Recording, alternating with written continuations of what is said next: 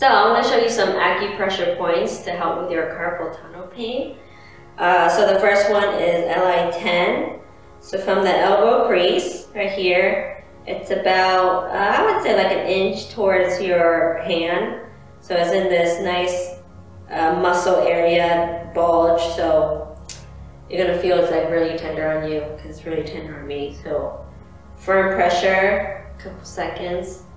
Uh, really great for any kind of hand pain or elbow pain.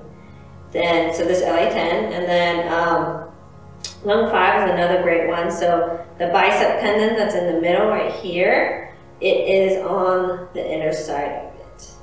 I'm sorry, it's on the other side. So right here, on the outer side of the uh, bicep tendon. So you'll feel kind of like a lot of uh, a lot of things in there. For me, I definitely feel it. Another great point for carpal tunnel is PC6. So PC6 is, um, some people don't have this tendon, and I do, so you see these two tendons in the middle. And it's about like, I would say like inch and a half up. They use this for like nausea as well. So here, you know, this is where the median nerve runs, so you can press here a couple seconds. Nice firm pressure. And then another great point is for overall pain, of course, is the master point, LI4.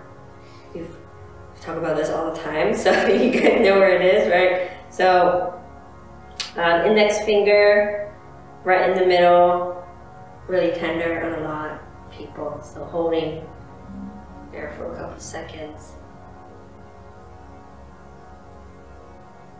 So those are all acupressure points. Again, the lung 5, LI10, PC6, LI4. So try those out and see if that helps with your carpal tunnel pain.